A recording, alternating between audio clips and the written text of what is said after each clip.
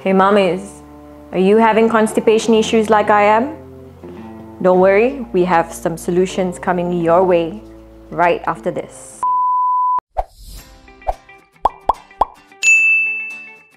Hello everyone and thanks for joining our latest episode of Ask Me Doctor, a health video series for you and your family, specially brought to you by motherhood.com.my.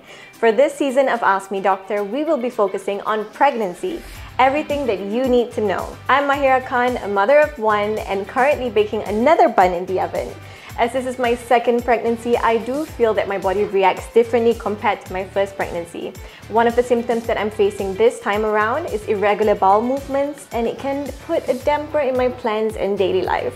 So today I'm gonna have a chat with Dr. Sharina Razali, a consultant, obstetrician and gynecologist at KPJ Damansara Specialist Hospital to unravel about pregnancy constipation.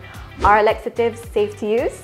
So excited to have you here, Dr. Sharina. Hope you're well and thank you for joining us on the show. You're welcome. Thank you for inviting me and having me on the show. All right, so today's topic constipation. Doctor, maybe you can elaborate further. For me, as I said, it's my mm-hmm. second pregnancy, and this time around, I'm experiencing a little bit of constipation. So mm-hmm. maybe can you elaborate further? What constitutes as constipation? Is it just having hard bowels or difficulty in passing motion? Every pregnant woman is different, okay, and, and so they will have different bowel movement themselves. Constipation actually means having fewer than three bowel movements in a week and is also associated with stools that are hard to pass. So they're both actually constipation symptoms. If you suffer from constipation, you may find yourself difficult to pass your motion, you know, and you may find yourself having to push or to strain a little bit more. Mm. So constipation is quite common. Up to one in four women will experience constipation during their pregnancy. You are more likely to face this during the third trimester, but it can happen throughout the all the trimesters in pregnancy. You know, during the first trimester, you're not taking enough fluids, yeah. and then during the third trimester, that's when your baby's heavier, so yeah. there's more pressure on the bowels, making it hard to pass. So for me personally, um, I realized the constipation started towards the end of the second trimester, and as I mentioned before, it's not something that I had during my first pregnancy. Mm, well, but not all pregnancy the same. So, yes. Yeah. Now, doctor, sometimes I know that this is getting a little bit into detail, yeah. but since we're on the topic, sometimes I do feel, though I've already passed my motion, mm-hmm. I feel as if my bowels are not completely emptied, and it mm. feels as if there's some stools still stuck there. So is that something that's normal or is that something that we should be concerned about? Well, people with constipation can feel that way. It's because they have not actually fully emptied their bowel. You feel like you've gone, but actually there are still some hard stool that's retained inside. Mm. So that's when you feel the hardened lower abdomen, you know. Uh, and this can actually cause you to cause some discomfort, makes you feel like you need to go again, but there's something actually coming out. Sorry, it's a bit personal, but that's what you feel, right, Myra? I'm a living proof of a yeah. woman, a normal, healthy woman who's going through this. suddenly, with constipation in the second trimester. Yeah. you feel like you've gone, but some discomfort and you feel like you need to go again but it's not happening yeah. so if this happens this is this is a sign that you need to talk to your friendly guy, your obstetrician lah, so because she can advise you on certain things that you can do to help you with alleviate this problem. While having constipations, you know, you know, as a pregnant woman, you have a lot of advice from your parents, from your family yeah, members, before, your, before your obstetrician, you talk to your mom first, right, or your friends, I, or yes, Mr. Google. I'm I'm guilty of saying that, but yes, before the doctor comes all the advice from parents and every, all loved ones yeah, first, then I'm comes sure. the doctor. So I did get advice from my parents on, mm-hmm. um, especially my mom, regarding yeah. constipation and mm-hmm. how to relieve it. So maybe you can elaborate further on what sort of lifestyle changes that could help ease constipation. May I ask what, what is your mother's recommendation? What did she tell you to do? Well, my mom always says drink plenty of fluids, uh-huh. eat a lot of fruits and vegetables, and yeah, to basically more on fluids, especially. That's what my mom says. Well, that's actually great advice. Your mom is good. Constipation in pregnancy it can be prevented, can be alleviated with some lifestyle changes. Mm-hmm. She's right. You can add more fluids to your diet. I mean, like fruits, vegetables, take more water. For example, prune juice. Now it's fasting month. You know, there's a lot of kurma around. Dates. It's all very good to help alleviate your uh, constipation, constipation problem. Yep, yep. Your mom's great.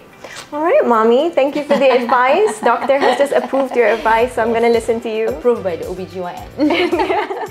so besides that, um, if let's say it doesn't help, you yes. can also include some physical activity in your daily routine. It's an exercise is actually recommended in pregnancy. So being active can help prevent pregnancy constipation. High fiber diet, uh, fruits, vegetables, bean, whole grains, and exercise. All these will help to um, ease, ease yeah, like the constipation problem. problem. Yep, that's right.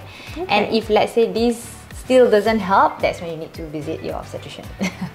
All right, so Dr. Sharina, um, you know, as being a pregnant mom, obviously we're always worried about taking any sort of medications Yeah, or supplements. sure. That's why we always come and um, get advice from doctors and all that. So let's say when I'm having constipation, I'm a little worried when it comes to taking laxatives. Like, Alright. And as a, um, a mom to be, sometimes I worry that maybe taking too much laxatives might cause the baby to come out earlier. Understand. I Every pregnant woman worried when they're taking any medication. Yes. But don't worry because fortunately, most laxatives will not be absorbed by your body. They will still remain in the bowel, you know, and it's actually safe to be taken by pregnant women and even breastfeeding women. So, but if you're not sure, it's always safe to check with your OBGYN. Put your mind at ease so that you can take the medicine comfortably. Yeah. Uh, otherwise, you'll be worried and you'll not be taking it, then it's not going to help your problem. Yes. Yeah. So that's why we always need our friendly doctor on board. and since you're here, doctor, maybe you can give us some advice on what sort of laxatives you would recommend for pregnant women to take. Okay, so there are um, few types of laxatives available. Um, your OBGYN might recommend either the bulk forming laxatives such as psyllium husk and polycarbophil uh, or stimulant laxatives such as bisacodyl or osmotic laxatives such as macrogol 4000 and lactulose. So it, these are all basically laxatives with different mechanism of action. Macrogol 4000? Wow, that name sounds fancy. Can you tell us more about that? Okay, so Macrogol 4000 is a safe and gentle laxative indicated for constipation treatment. It works by hydrating and softening the stool to help regulate the bowel's rhythm. Mm, So it absorbs water, make pieces more moist, and this will help to soften the stool and regulate the bowel rhythm. Right. Well, Dr. Sharina, thank you so much for all those advice and for the information that you provided. But I do mm-hmm. have another question. Okay. So obviously, as a pregnant mom, I'm taking my prenatal supplements, right? Yeah, you should be. yes, I'm trying my very best. As I'm taking my prenatal mm-hmm. supplements, is it mm-hmm. safe to also take Macrogol 4000 at the same time? Um, it is, but I would suggest you to spare at least two hours apart from other products just to ensure the content of your supplements, your other supplements, are properly absorbed. All mm. right. So it can be, you just make sure it's about two hours apart. Okay, just give it mm. like a gap timing Yep. so that each Yep. supplement Gets absorbed get, gets it Yes. absorbed properly. Yep. When should I seek medical advice from a doctor when having constipation?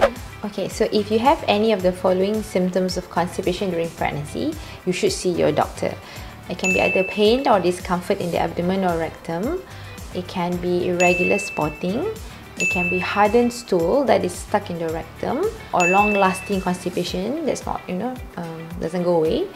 If there's any changes in the way you go to the bathroom, especially if you see blood in your stools or you started to have diarrhea, along with constipation, you may also have nausea, vomiting, or fever. So if you have this, you need to see your doctor. And any other worrisome signs that could be caused by constipation. If you're worried about constipation during pregnancy, talk to your doctor because they can always advise you based on your situation because no two patients are the same. Well, thank you so much, Dr. Sharina, for all your advice and that really weaves together all the old wives' tales. And to everyone watching at home, don't forget to join our contest to stand a chance to win a Motherhood AMD Wellness Box and merchandise from EP Plus, which is a Pink Shark soft toy and pill box.